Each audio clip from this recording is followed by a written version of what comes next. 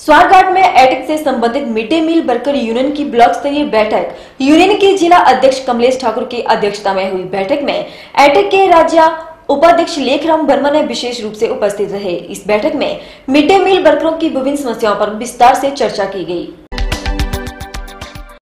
स्वारघाट में एनटेक से संबंधित mid day meal worker union की ब्लॉक स्तरीय बैठक यूनियन की जिला अध्यक्षा कमलेश ठाकुर की अध्यक्षता में हुई। बैठक में एनटेक के राज्य उपाध्यक्ष लेखराम वर्मा विशेष रूप से उपस्थित रहे। इस बैठक में मिड डे मील वर्कर्स की विभिन्न समस्याओं पर विस्तार पूर्वक चर्चा की गई। बैठक में स्वारघाट ब्लॉक की प्रधान नीलम कुमारी व गीता देवी, सचिव रचना देवी व सुनीता देवी, कोषाध्यक्ष ममता व चंचल, प्रवीण कुमारी सहित दर्जनों मिड डे मील वर्करों ने भाग लिया। जिला अध्यक्ष कमलेश ठाकुर ने कहा कि स्कूलों में मिड डे मील वर्कर का शोषण किया जा रहा है, जब से सरकार ने स्कूलों में प्री नर्सरी कक्षाएँ शुरू की हैं, इन बर्करों की जिम्मेवारी और बढ़ा दी गई है। प्री नर्सरी के बच्चों को खाना खिलाने से लेकर शोच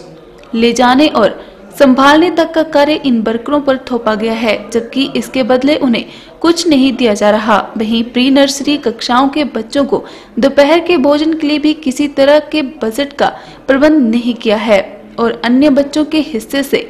प्री नर्सरी बच्चों को दोपहर का खाना खिलाया जा रहा है, जिसके चलते अन्य बच्चों को भरपेट मिड डे मील नहीं मिल पा रहा है। कमलेश ठाकुर ने कहा कि इस प्रकार के शोषण से बढ़कर दिमागी रूप से परेशान हो चुके हैं। वहीं कमलेश ठाकुर ने कहा कि ऐसा नहीं है कि मिड डे मील बढ़कर नर्सरी कक्षाओं के बच्चों को भोजन नहीं देंगे या शोष नहीं ले जाएँगे, बल्कि उनकी विभाग और सरकार से ये मांग है कि उन्हें इस अतिरिक्त काम के बदले कुछ दिया जाए।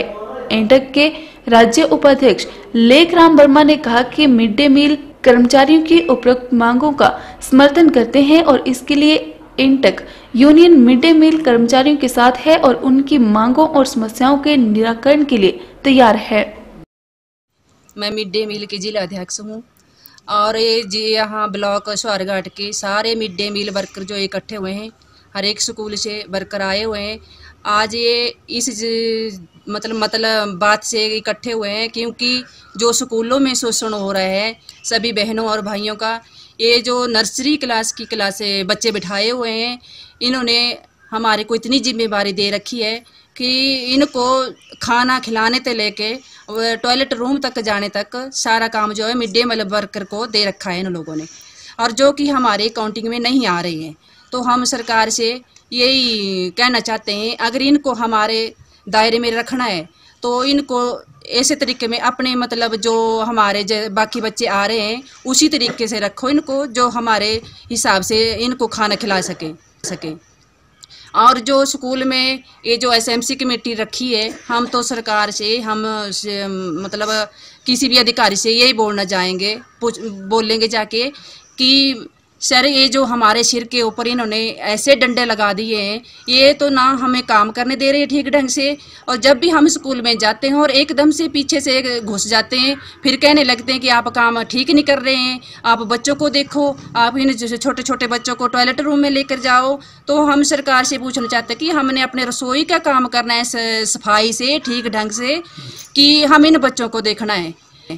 जब हमारे ये दायरे में नहीं आ रहे हैं तो हमने इन बच्चों को, मैंने ये बोल दिया है, सभी इनको बहनों को भी, कि आज से मतलब इन्होंने अगर हमारे कोई बात मानने से इनकार कर दी है तो हम इन बच्चों को खाकर को प्रताड़ित कर रहे हैं। जैसे कि प्री प्राइमरी से लेके आठवीं क्लास तक बर्तनों को दे रखा है, कि ये प्लेटों जो है, आप लोगों ने साफ़ करनी है। ये सबसे मेन मुद्दा बना दिया है, अब इन कमेटी वालों ने भी और टीचरों ने भी।